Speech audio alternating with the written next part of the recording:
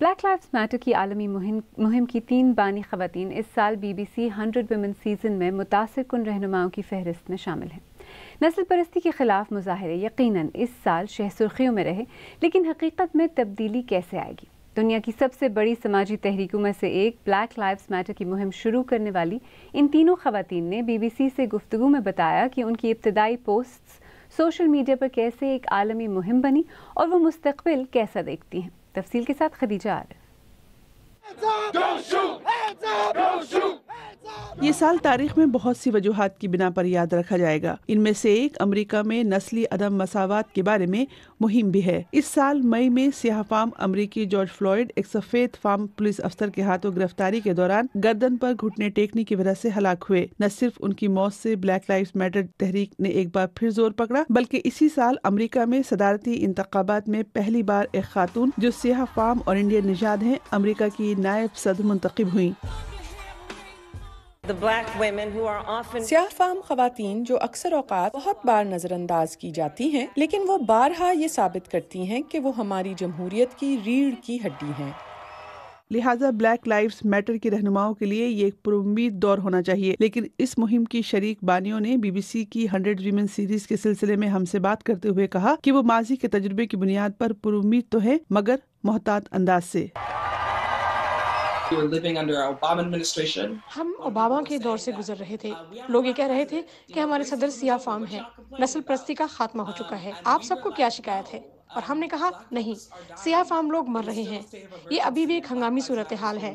اور black life matters اس نسل کی تحریک ہوگی۔ یہ بات واضح ہے کہ اس تحریک کے نزدیک وائٹ ہاؤس میں کون رہتا ہے یہ امریکہ میں نسلی عدم مساوات کے حل کا صرف ایک حصہ ہے۔ سڑکوں پر مہم چلانے کے ساتھ ساتھ وہ ملک کے رہنماؤں پر دباؤ ڈالنے کے لیے بھی تیار ہے جن میں نو منتخب نائب صدر کاملا حارث بھی شامل ہوں گی۔ ان کے لیے صرف ہماری برادریوں کی علامت بننا کافی نہیں بلکہ انہیں اپنی برادریوں کے لیے لڑنا بھی ہوگا۔ اور ہمیں علم ہے کہ جب الیکشن ہوا تھا تو اس موقع پر کاملا ہیرس نے خاص طور پر سیاہ فام خواتین سے کہا کہ وہ جانتی ہیں کہ ہم نے انہیں کامیابی دلانے میں مدد دی ہے اور وہ ہمارے لیے اپنا دروازہ کھلا رکھیں گی اور اب اس تحریک کا تقاضا ہے ان سے جواب طلبی کی جائے۔ بلیک لائفز میٹر اور صدر یہاں اس کو نفرت کی علامت قرار دے رہے ہیں۔ وہ تنظیم کے بارے میں بات کر رہے ہیں۔ یہ تحریک وائٹ ہاؤس میں اپنے نئے ممکنہ حلیفوں کو کس قدر تنقید کا نشانہ بنائے گی یہ اہم ضروری ہے۔ مگر تحریک کی موجودہ انتظامیہ کے ساتھ تعلقات پر ایک نظر ڈالیں تو یہ کوئی بڑی بات نہیں۔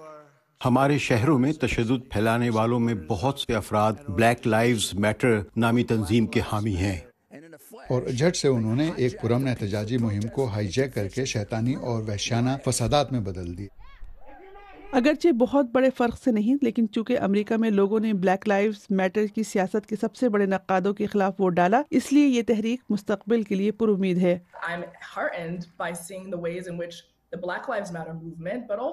مجھے یہ دیکھ کر خوشی محسوس ہوئی کہ جس طرح سے بلیک لائف میٹر تحریک بلکہ بہت سی دوسری تحریکیں بھی اس موقع پر بیدار ہوئیں اور سیاسی سوچ اور عمل کو آگے بڑھایا۔ جو واقعتاً ہم میں موجود اچھائی کی عکاسی کرتا ہے۔ اور مجھے لگتا ہے کہ ہماری تحریکیں یہ دکھا رہی ہیں کہ ایک دوسری راہ بھی ممکن ہے۔ اور میں شکر گزار ہوں کہ مجھے اپنی زندگی میں یہ وقت دیکھنے کا موقع ملا۔